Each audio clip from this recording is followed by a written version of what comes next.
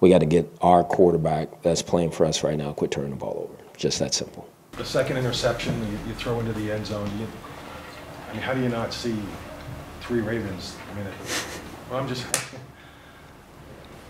I can tell you what I saw on that second interception. Um, as I scrambled to the left, Crow happened to leak to the back of the end zone there.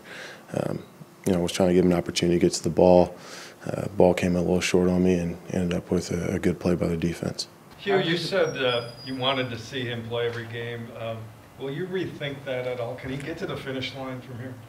I think he can, Tony. I mean, obviously, um, you know, I'm gonna watch the tape and make the best decision I think for a football team because we're we're still trying to win. We're not we're not here just trying to get through the season. And I don't look at it like that, and I'm not gonna let our players look at it like that. We're trying to win, and if the best decision is to move forward in a different direction, we will. But at the same time, I want him to finish this if he can, and um, we'll see.